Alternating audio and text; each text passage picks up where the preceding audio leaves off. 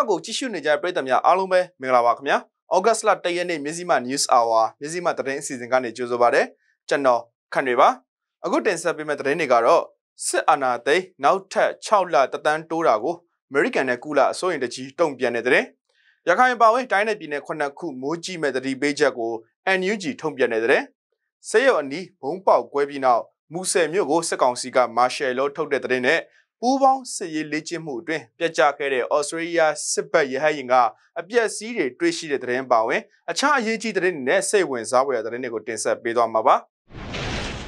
စစ်အာဏာသိမ်းနောက်6လတပ်တန်းထပ်တိုးမှု American နဲ့ကုလစိုးရင်တကြီးတုံ့ပြန်လိုက်တဲ့သတင်းကိုအရင်ဆုံးတင်ဆက်ပေးပါမယ်နိုင်ငံတွင်းအကြမ်းဖက်တပ်ဖြတ်တာတွေပုံမဆိုးရွားလာနေတယ်လုံခြုံရေးဆောင်ရွက်ဖို့လိုအပ်နေသေးတယ်လို့အကြောင်းပြပြီး အာနာသိန်းအရေးပေါ်ကာလကိုနောက်ထပ်6လထပ်တိုးဖို့စစ်ကောင်းဆောင်မင်းအောင်လှိုင်ကဇူလိုင်လ31ရက်ကကာလုံအစည်းအဝေးမှာတင်ပြခဲ့ပါတယ်။အခုလိုဆဲအုပ်ချုပ်မှုတသန်းတိုးတဲ့ပေါ်ကုလသမဂ္ဂရောအမေရိကန်ပြည်အောင်စုကပါစိုးရင်တကြီးတုတ်ပြန်လာပါတယ်။မြန်မာနိုင်ငံကိုဖြစ်နိုင်သမျှမြန်မြန်ဒီမိုကရေစီနီးကျအုပ်ချုပ်ရေးပြန်သွားဖို့လိုလားပါတယ်လို့ကုလသမဂ္ဂအတွင်းရေးမှူးချုပ်ရုံးလက်ထောက်ပြောရေးဆိုခွင့်ရှိသူကဆိုပါတယ်။ဒါအပြင်စစ်အာဏာသိမ်းမှုကိုစန့်ကျင်နေဆိုတာရှင်းရှင်းလင်းလင်းရက်တီပြောဆိုထားတာဖြစ်တယ်လို့လည်းဆိုပါတယ်။ အလားတူရေးပေါ်ခြေနေအား6လတက်တန်းတိုးဖို့မြမစစ်ဆိုရကဆုံးဖြတ်ချက်ပေါ် American ပြည်အောင်စုကအလွန်စိုးရိမ်မိကြောင်းနိုင်ငံသားရေးဌာနပြောရေးဆိုခွင့်ရှိသူကတင်းလာနေမှာပြောကြားခဲ့ပါတယ်စစ်တပ်ကတိုင်းပြည်ကိုအကြမ်းဖက်မှုနဲ့မတိမငြိမ်ဖြစ်အောင်ပုံမဖြစ်လာမှာကိုစိုးရိမ်ပါတယ်လို့ပြောရေးဆိုခွင့်ရှိသူကပြောပါတယ်စစ်ကောင်စီရဲ့ကျေပြင်းတဲ့ရက်ဆက်ကြမ်းကြုတ်မှုတွေနဲ့မြန်မာပြည်သူတွေရဲ့ဒီမိုကရေစီလူလားချက်တွေကိုလိလူရှုတာဟာ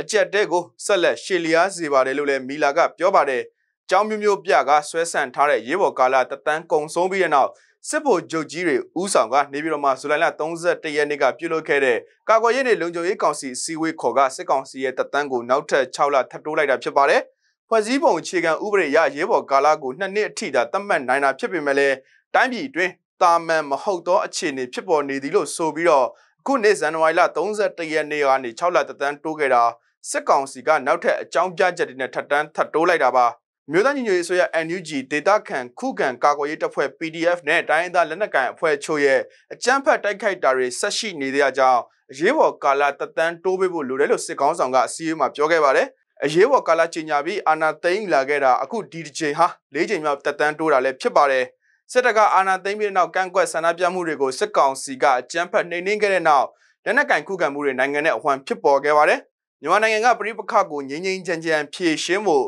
ကုလသမဂ္ဂအပါအဝင်နိုင်ငံတကာကတောင်းဆိုတိုက်တွန်းနေသလိုတစ်ဖက်မှာလည်းအထူးသဖြင့်အနောက်နိုင်ငံတွေကစစ်ကောင်စီကိုအရေးယူဒဏ်ခတ်မှုတွေတိုးတက်တိုးလှုပ်ဆောင်လာနေပါတယ်။လွန်ခဲ့တဲ့နှစ်နှစ်ခွဲလောက်ကဒီမိုကရေစီနီးကျရွေးချယ်တင်မြှောက်ထားတဲ့အစိုးရကိုဖြုတ်ချပြီးကြတဲ့ကစစ်တပ်ကယာနဲ့ချီတဲ့လေကြောင်းတိုက်ခိုက်မှုတွေအိုးအိမ်ထောင်ပေါင်းများစွာကိုမီးရှို့ဖျက်ဆီးပြီးလူပေါင်း1.6တန်းကျော်အိုးအိမ်ဆွန့်ခွာထွက်ပြေးစေခဲ့ရတယ်လို့လည်းမီလာကပြောပါတယ်။ ဒီခေါက်ရေးပေါ်ကာလတက်တန်းဟာ2024ခုနှစ်ဇန်နဝါရီလ31ရက်နေ့မှာကုန်ဆုံးမှာပဲဖြစ်ပါတယ်ခင်ဗျာရခိုင်ပြည်နယ်ပါဝင်တိုင်းနယ်ပြည်နယ်ခုနှစ်ခုမှာမိုးကြီးနေတာကြောင့်ရေကြီးရေရှမ်းတာနဲ့မြေပြိုတဲ့ဘေးတတိပြုဖို့မြို့သားညီညွတ်ရေးအစိုးရလူသားချင်းစာနာထောက်ထားရေးနဲ့ဘေးအန္တရာယ်စီမံခန့်ခွဲရေးဝန်ကြီးဌာန MOHADN ကတတိပေးချက်ထုတ်ပြန်ပါတယ်။ဩဂုတ်လ6ရက်အထိဖြစ်နိုင်ပွဲမိုးလေဝသအခြေအနေကို MOHADN ကဇူလိုင်လ30ရက်ကထုတ်ပြန်ရမှာ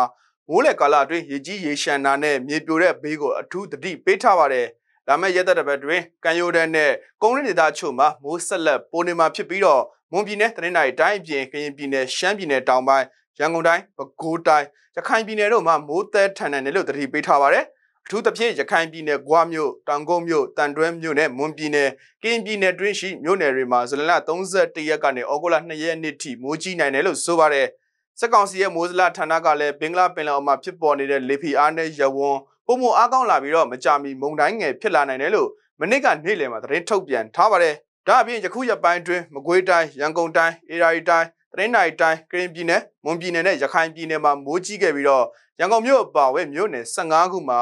ပုံမှန်မိုးရေချိန်ထက်ပိုခဲ့ကြောင်းထုတ်ပြန်ထားပါသေးတယ်။အဲ့ဒီတိုင်းနယ်ပြည်နယ်တွေမှာမိုးဆက်လက်အားကောင်းလာနိုင်တယ်လို့လည်းသတိပေးထားပါတယ်ခင်ဗျာ။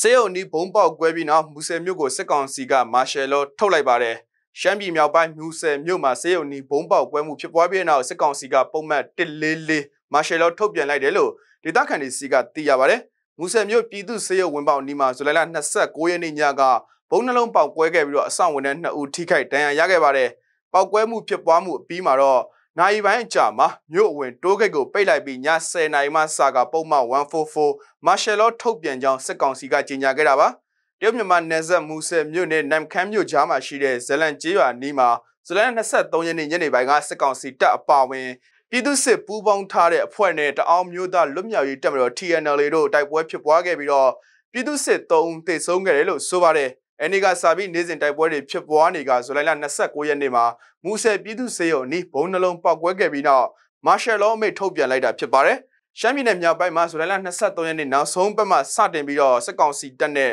တောင်မျိုးသားလွတ်မြောက်ရေးတပ်မတော် TNL မြို့သားဒီမိုကရေစီမဟာမိတ်တပ်မတော် MNDAA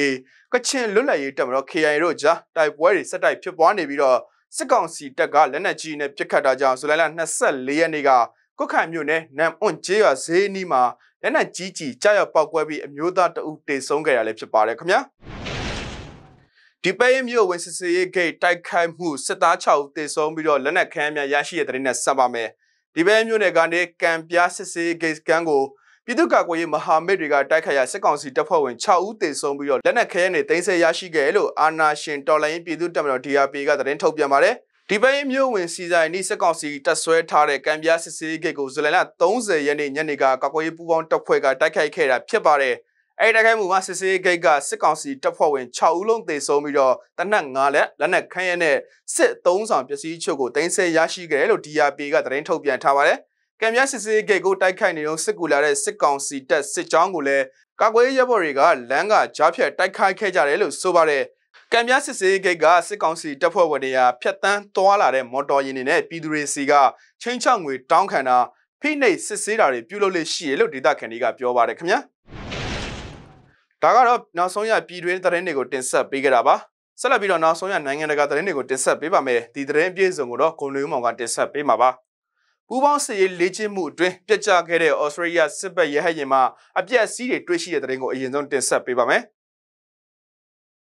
Pacific သမုဒ္ဒရာတွေကိုပြတ်ကျခဲ့တဲ့ဩစတြေးလျစစ်ဘက်ရဲရင်ရဲ့အပျက်စီးတွေကိုတွေ့ရှိခဲ့ရကြောင်းဩစတြေးလျရဲတပ်ဖွဲ့ကပြောကြားလိုက်ပြီးပျောက်ဆုံးနေတဲ့ pilot တွေကိုဆက်လက်ရှာဖွေလျက်ရှိပါတယ်။ဩစတြေးလျအရှေ့မြောက်ဘက်ကင်ရန်ရှိအပူပိုင်းဒေသရေပြင်မှာဇူလိုင်လ28ရက်တောက်ကြနေ့ညနေပိုင်းကပြတ်ကျခဲ့တဲ့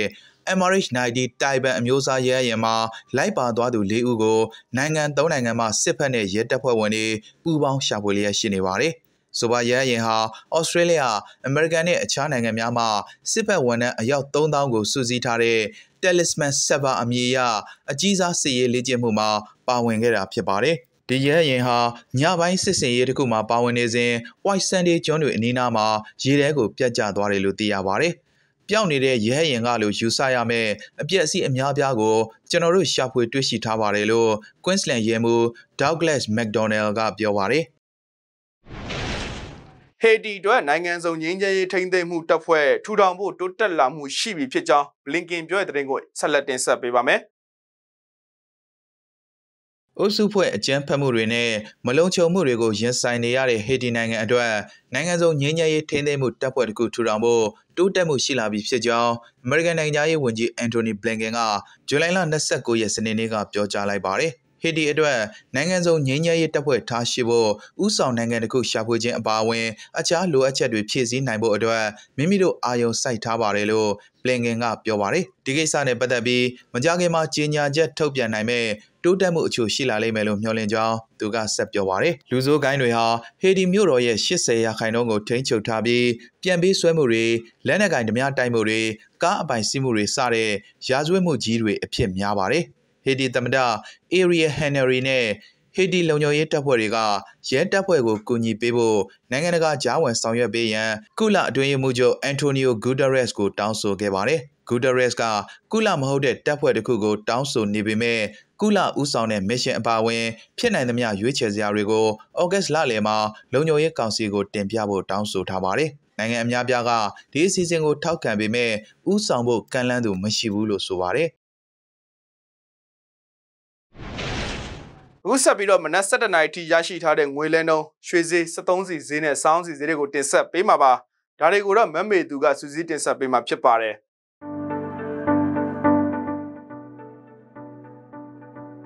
ဒီနေ့အတွက်နောက်ဆုံးရငွေလဲလှယ်နှုန်းတွေကတော့အမေရိကန်ဒေါ်လာကိုစစ်ကောင်စီသတ်မှတ်စေ1100ကျပ်ပြည်ပရောက်လုံသားလာစာနှုန်း2900ကျပ်ပြင်ပပေါက်ဈေး3253ကျပ် စင်ကာပူဒေါ်လာကိုစစ်ကောင်စီသက်မှတ်ဈေး1586.5ကျပ်ပြည်ပရောက်လှုပ်သားလာစာနှုန်း2185ကျပ်ပြင်ပပေါက်ဈေး2465ကျပ်ဥရောပတရူရိုကိုစစ်ကောင်စီသက်မှတ်ဈေး2338ကျပ်ပြည်ပရောက်လှုပ်သားလာစာနှုန်း3212ကျပ်ပြင်ပပေါက်ဈေး3698ကျပ်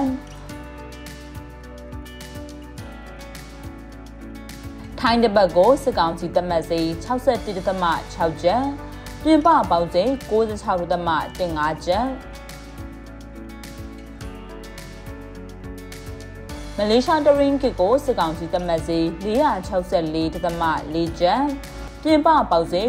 924ကျပ်ပေါက်စေးရှိပါတယ်ဖော်ပြပါငွေလဲလှယ်နှုန်းတွေကအချိန်နဲ့အမျှအပြောင်းအလဲရှိနိုင်ပါတယ်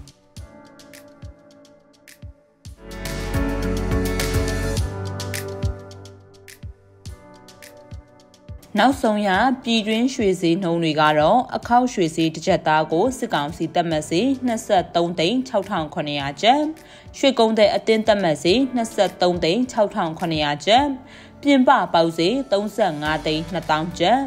15ပဲ့ရီတစ်ချက်သားကိုစစ်ကောင်စီတက်မှတ်စီ21သိန်း62,532ကျပ်ရွှေကုန်းတဲ့အတင်းတက်မှတ်စီ21သိန်း62,532ကျပ် ပြင်ပပေါက်ဈေး33သိန်း3500ကျပ်ဈေးပေါက်နေပါတယ်။ဖော်ပြပါရွှေဈေးနှုန်းတွေကအချိန်နဲ့အမျှအပြောင်းအလဲရှိနိုင်ပါတယ်။နောက်ဆုံးရရန်ကုန်73စီဈေးနှုန်းတွေကတော့ဒီဇယ်1လီတာကို2310ကျပ်ပရီမီယံဒီဇယ်1လီတာကို2390ကျပ်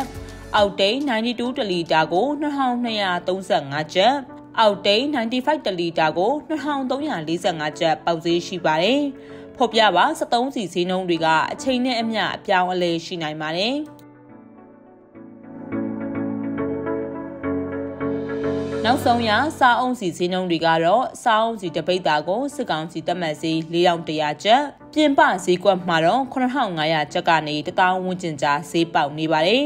အခုဖော်ပြပါဈေးနှုန်းတွေကတော့အချိန်နဲ့အမျှအပြောင်းအလဲရှိနိုင်ပါတယ်ရှင်